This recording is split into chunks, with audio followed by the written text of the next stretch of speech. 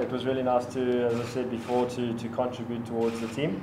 Um, I always enjoy doing that, and um, yeah, obviously great, great stepping stone there for us. Uh, this new T20 side, uh, winning the first game and moving with uh, some good momentum into Sunday's game. They bowled really well, and uh, obviously tough to to defend, um, and obviously you know, Lungile did really well. So it was it was outstanding performance from the bowlers. We started obviously the guys were really um, under pressure the first six seven overs, but uh, the last three or four were outstanding. I've sort of learned over the last couple of years is that uh, every format sort of remains the same. Uh, trying to get yourself in, it's just obviously less time. So.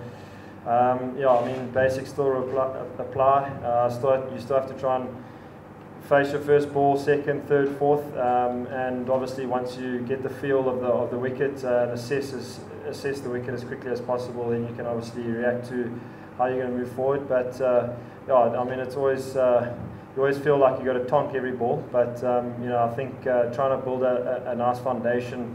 Uh, which we did really, really well. The first two, three overs was was really good uh, without, I think, without a wicket. So, yeah, it was it, slightly different, but uh, you know you sort of just got to try and take it deep as, as, as much as you can, even if it's short. While playing 10 overs, uh, I think that's the, the most important. Uh, you know, you sort of got to put your pride aside, and uh, if you contribute, um, you know, like they did, um, it all adds up towards the end. So, I mean, we've got 11 players to, to try and score the runs as quick as possible, and, you know, unfortunately, if, you, if it doesn't come off and you've sort of scored at 150 strike rate, you, you, know, you've sort of done your job. So, yeah, it's important, and um, I think the guys did, I keep saying it, but outstandingly. Unfortunately, um, you know, as the fixtures are, are set up annually, I think it all, we always feel like that with the T20s. Uh, I think New Zealand, there's only one T20.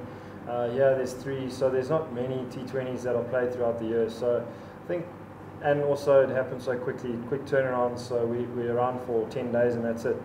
So I think you're always going to feel like that. Um, but like you said, to try and uh, you know really get to know each other as quick as possible, and, and, and this helps hugely. So I think we, we're in a great great spirit and good momentum for, for Sunday.